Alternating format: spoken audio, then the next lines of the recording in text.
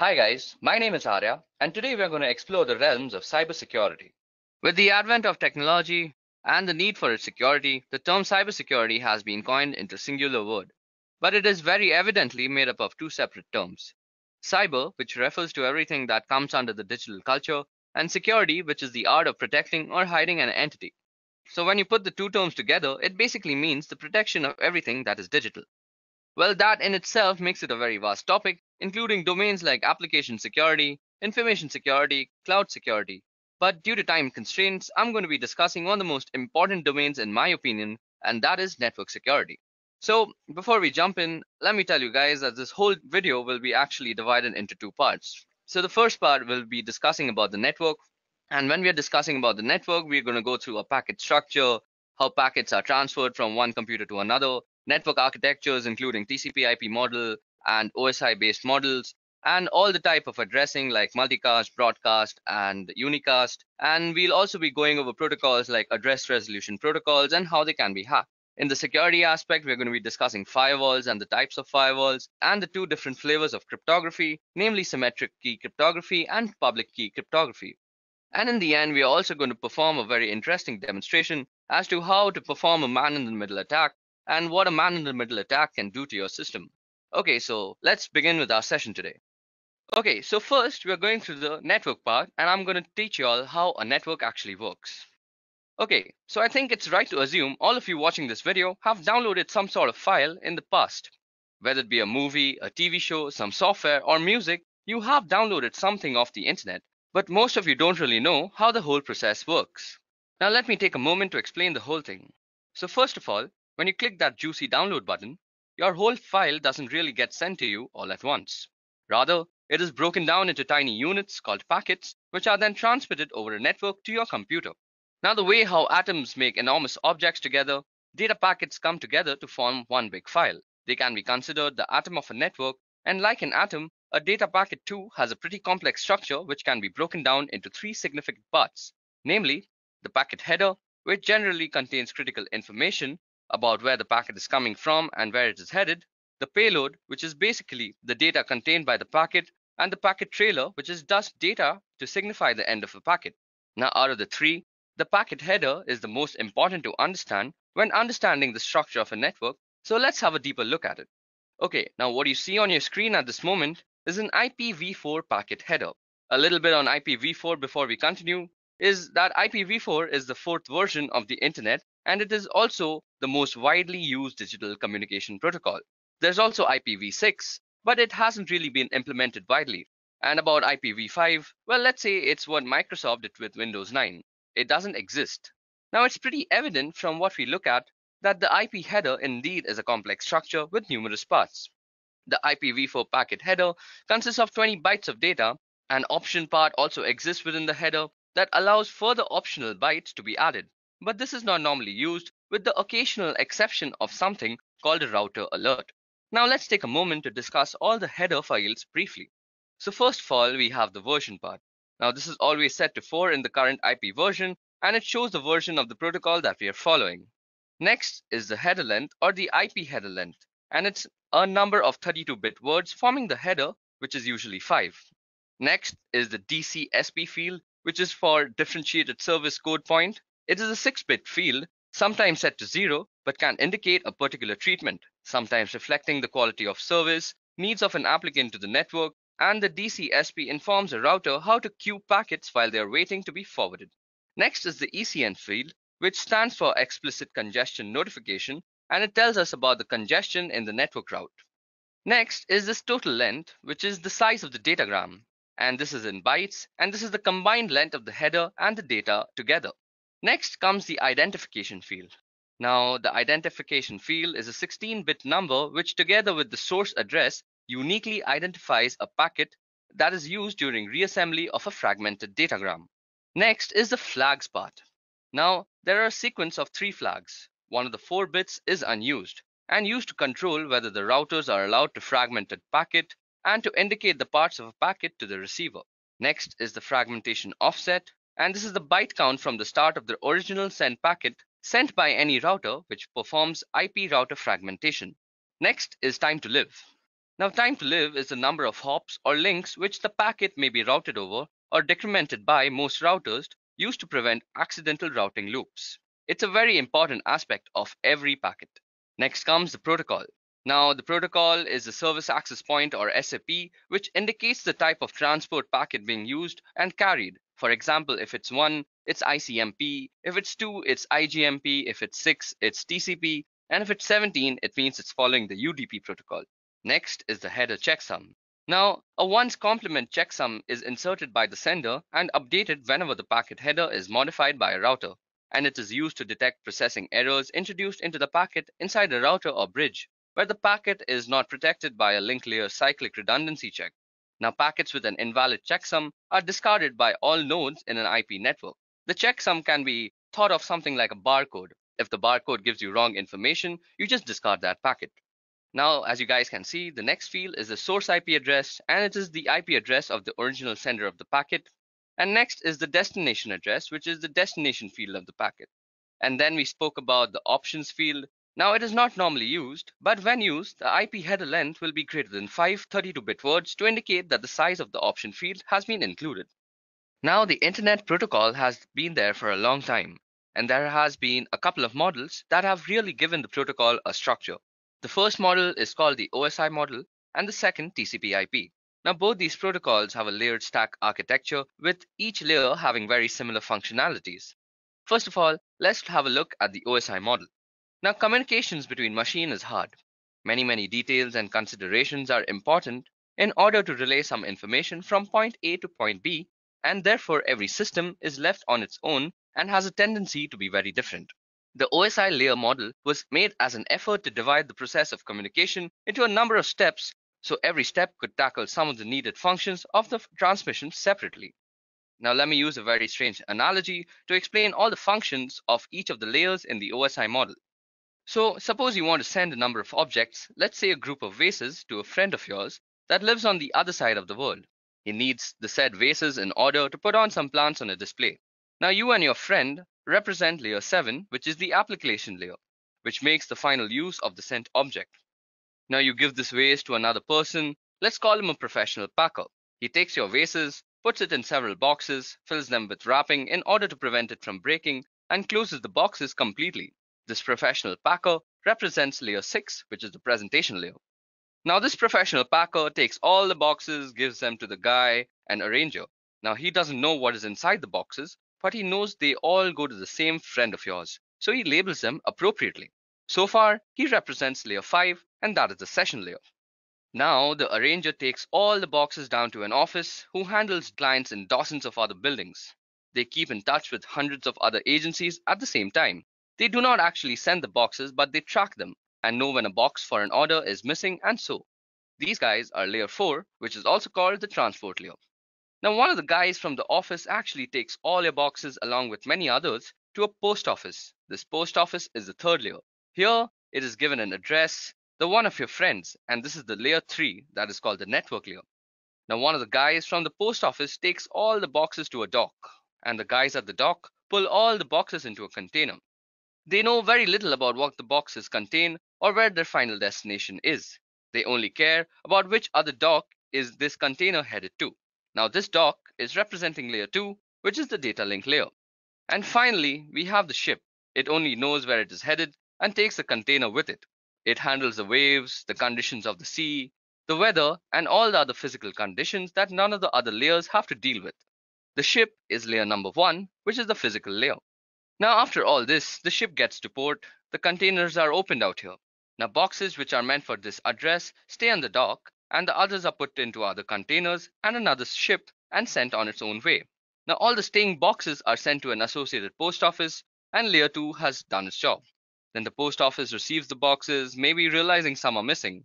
They call the sending post office to check what happened, and once they are sure all the boxes are there, they send it to the big office, and now layer 3 has done its job completely. Then the big office gets the boxes, checks they are all in the correct order and place, fill the relevant tracking data, and send them to your friend's arranger, and layer 4 has done its job completely. Then the arranger reads the label put by your arranger, and he makes sure everything is in order. He knows they are for your friend and calls a professional packer. Here, layer 5 has completed its job. Then the professional packer takes everything from the boxes, checks if everything is intact, and if everything is okay, he calls a friend and layer 6 has done its job. And finally, your friends get the vases, happily unaware of everything that happened on every layer. He sets up the plants on display and is happily continuing with his day. Now, this is how the OSI layer model has actually differentiated all the different steps that you need for one packet to reach from one computer to another. I hope that analogy helped you all understand how a packet actually travels from one computer to another. Okay, so it's time now that we discuss the TCP IP model. TCP IP specifies how data is exchanged over the internet by providing end-to-end -end communication that identifies how it should be broken into packets, addressed, transmitted, routed, and received at the destination IP. Now, TCP IP requires a little central management and it is designed to make networks reliable with the ability to recover automatically from failure of any device on the network. The advantage of TCP is that it is non-proprietary and as a result it is not controlled by any single company. Therefore, the Internet Protocol suite can be modified very very easily. It is compatible with all the operating systems so it can communicate with any other system on the network. And the Internet Protocol suite is also compatible with all types of computer hardware and network types. Now the TCP IP functionality is divided into four layers, each of which includes a specific protocol. The application layer provides applications with standardized data exchange. Its protocols include Hypertext Transfer Protocol, which is HTTP, File Transfer Protocol, which is FTP, Post Office Management Protocol, which is POP3, Simple Mail Transfer Protocol, SMTP, and Simple Networking Management Protocol, which is SNMP. Next is the transport layer, the transport layer is responsible for maintaining end-to-end -end communication across the network.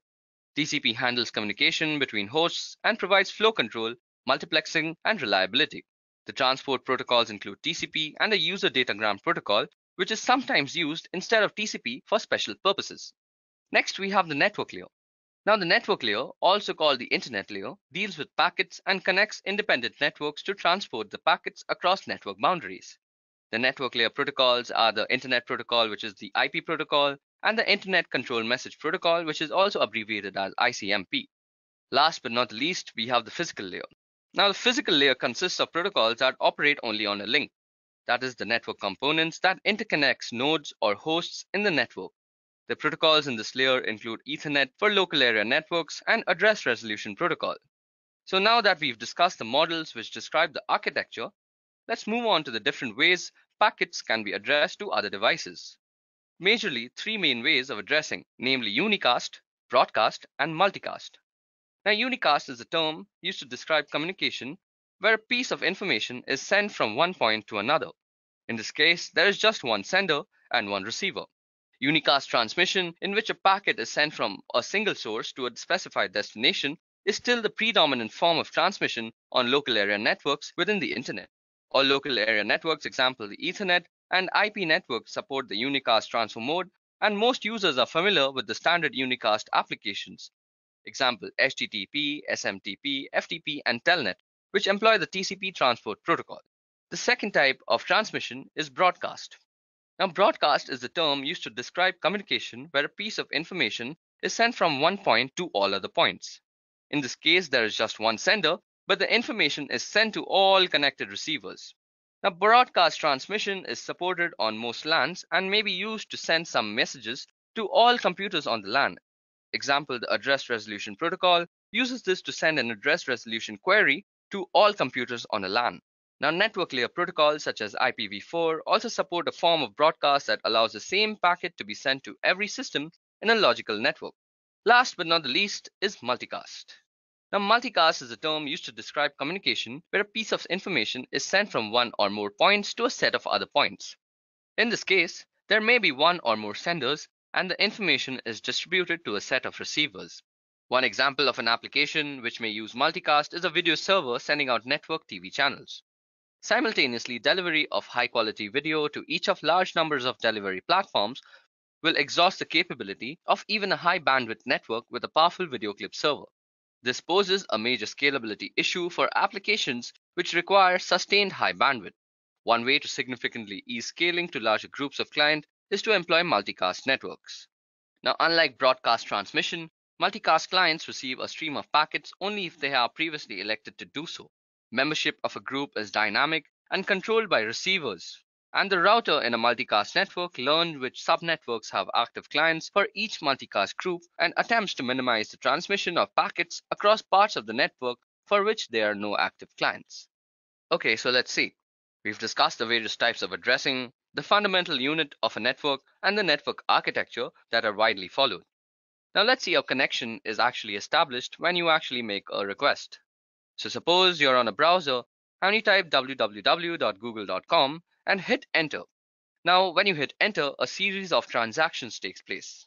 Firstly, a packet called a SYN packet is sent from your computer all the way across the network to the IP address of the Google server. We'll get to IP addresses in just a bit. Now when Google server receives the SYN packet, it realizes that we are trying to establish a connection with Google so Google sends back a SYN ACK packet, which stands for acknowledgement. This is basically a way to say, hey, I acknowledge the fact that you're trying to connect to me. Now this ACK packet is sent to our computer all across the network. Finally, when our client computer receives the SYN ACK packet, it sends back another packet called the ACK packet, which basically is an acknowledgement of an acknowledgement. Now, after the SYN ACK packet is received by Google, a connection is set up between your computer and the Google server. This process is the famous three-way handshake. Now in TCP, basically every packet comes with an ACK packet to say, yep, I got it. And if you don't get an ACK, you resend it. Now, since this is a two-way communication, you want to make sure that your desire to connect got through to the receiving computer, and thus they send back the SYN ACK packet. And they want to know that whether you got their acknowledgement or not. So you send back the acknowledgement of an acknowledgement, which is basically the ACK packet. Now both parties have positive confirmation that the other party has received and agreed to their request to connect.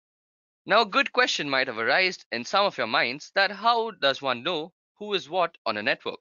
Well, that is solved by the computer's address, which is basically divided into two address, one the physical address, which is the MAC address, and one the digital address, which is the IP address.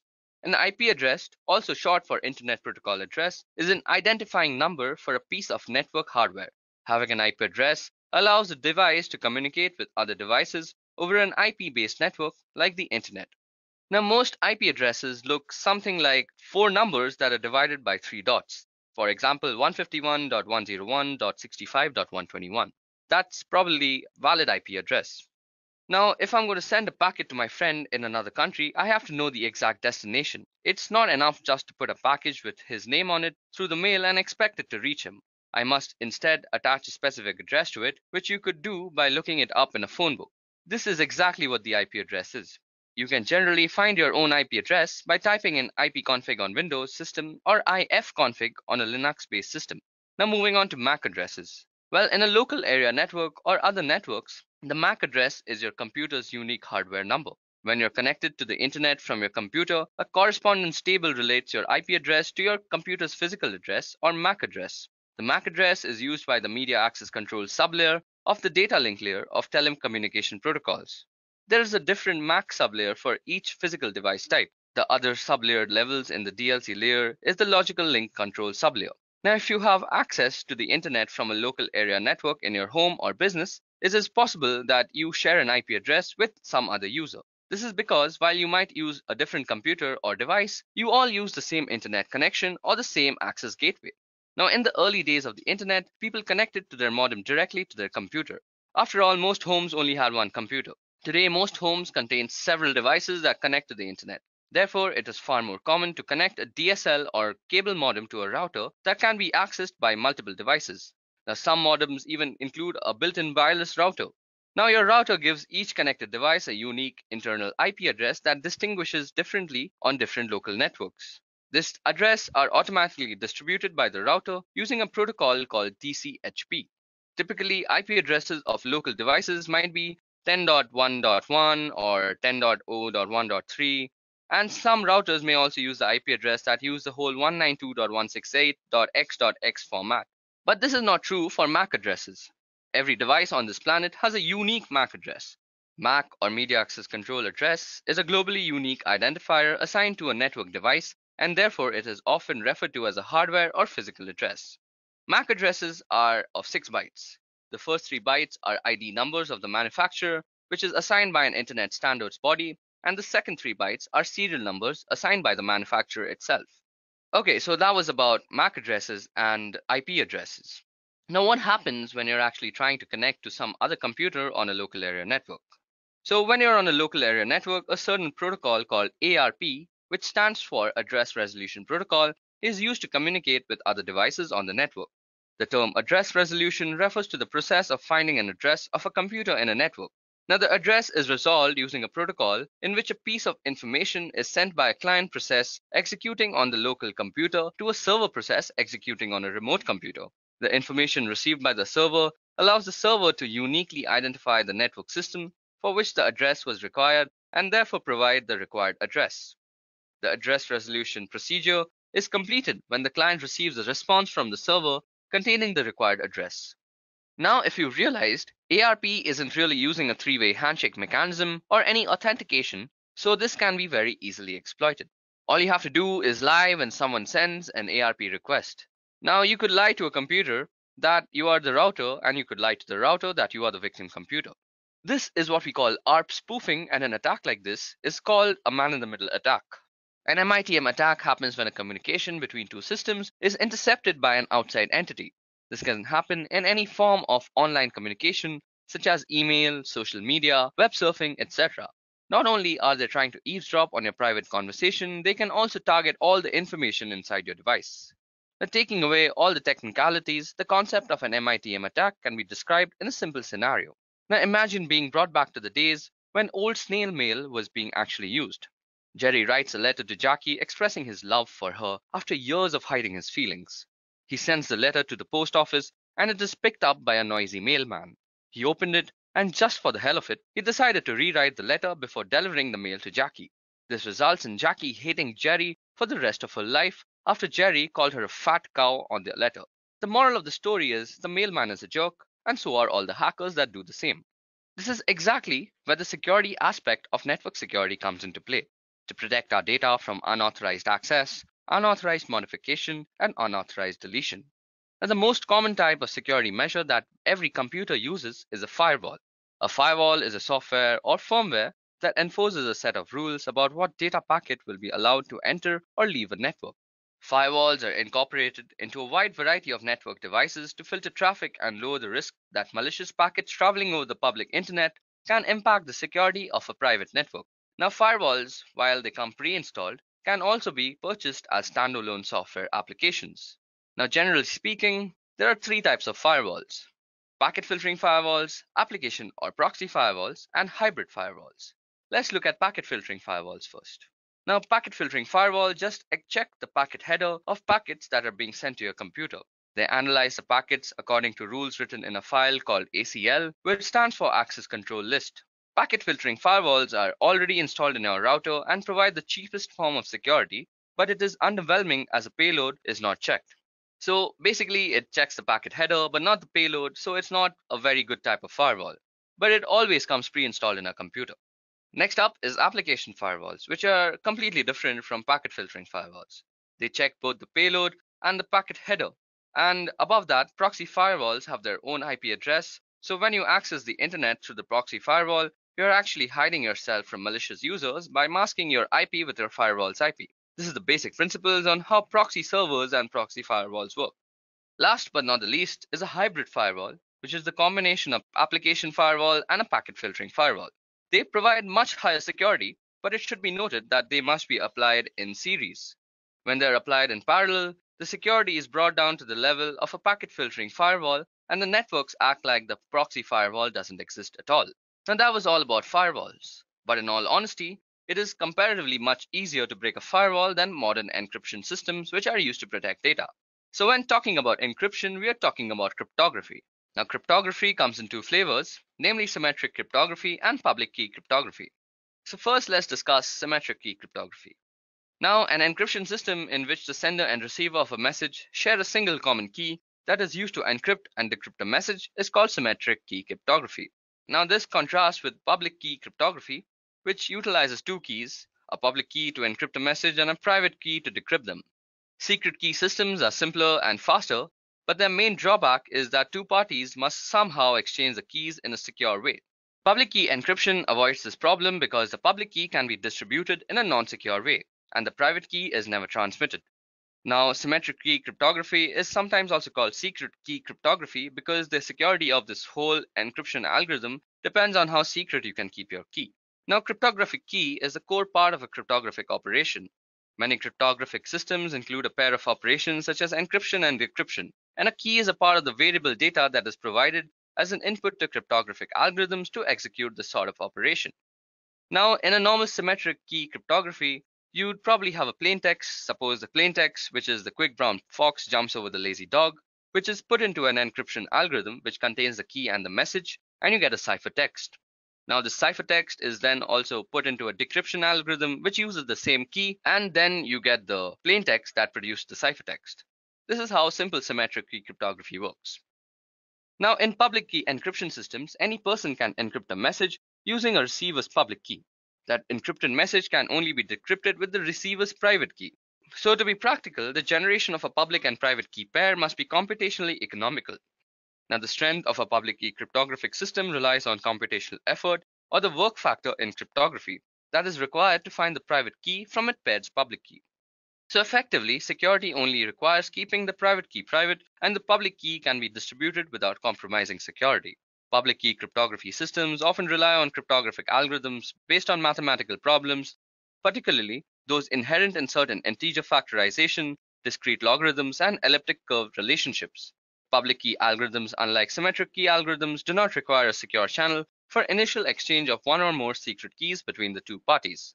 So because of the computational complexity of asymmetric encryption, it is usually used only for small blocks of data, typically the transfer of a symmetric key encryption system this symmetric key is then used to encrypt the rest of the potentially long message sequence, and the symmetric key encryption and decryption is based on a simpler algorithm that works much faster.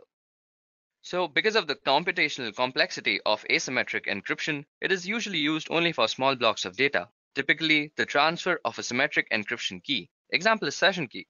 Now this symmetric key is then used to encrypt the rest of the potentially long message sequence, and the symmetric encryption and decryption is based on simpler algorithms that is much faster.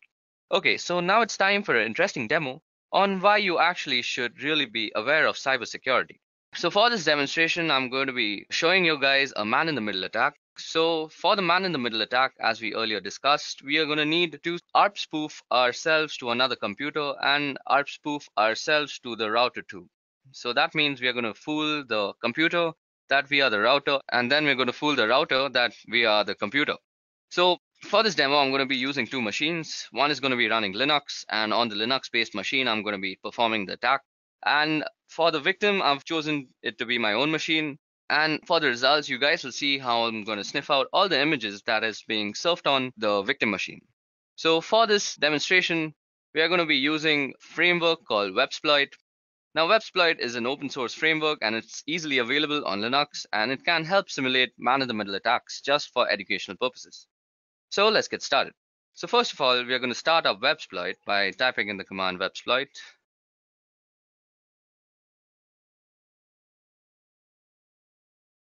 So once you go into Websploit, you go show modules. So as you guys can see, we have so many modules available out here. And these are all the types of attacks that you could possibly simulate with this framework. So we're going to choose the man-in-the-middle attack. So that is, we're going to use network slash MITM. So now you're going to see all the options that we're having. So as you guys can see out here, the Websploit framework gives us numerous amounts of options to set up. First, we can set the interface that we're going to attack on, and then we can also set the router that we're going to attack through.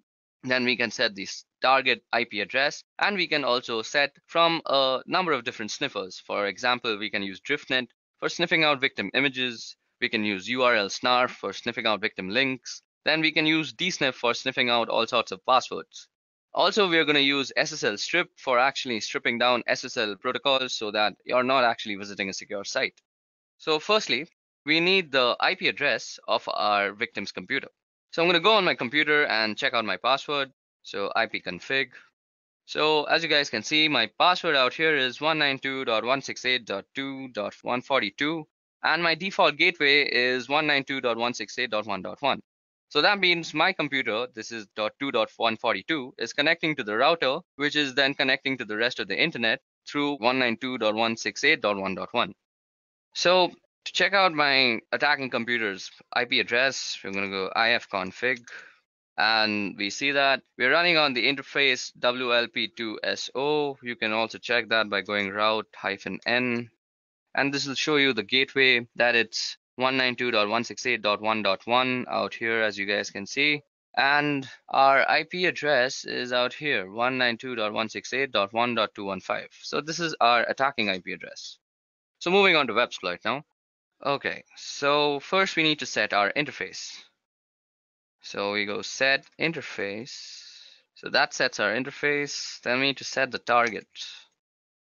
As the router IP address is already correct so our target is going to be 192.168.2.142 192.168.2.142 and we're going to use the driftnet sniffer for sniffing out all the victim images and SSL is true so let's just check we've got everything correctly show options so yes our interface has been set our router has been set the target has been set we've set our sniffer and SSL stripping is on so all we have to do now is run our attack so first we're going to forward all the IP. Now we're going to ARP spoof it. That's going to just lie on the network that we're somebody else. So now that we've run the attack on our attacking computer, it's time we go and browse some images on Google. So let's look at some images of Lamborghinis. So let's search for Lamborghini. So as you guys can see, it'll sniffing out all the images of all the Lamborghinis that I'm looking at out here. Like this Lamborghini looks really cool.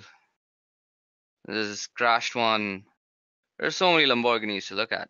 So as you guys can see, whatever images that you're looking at is just being sniffed out of the network and I can see them as well as an attacker.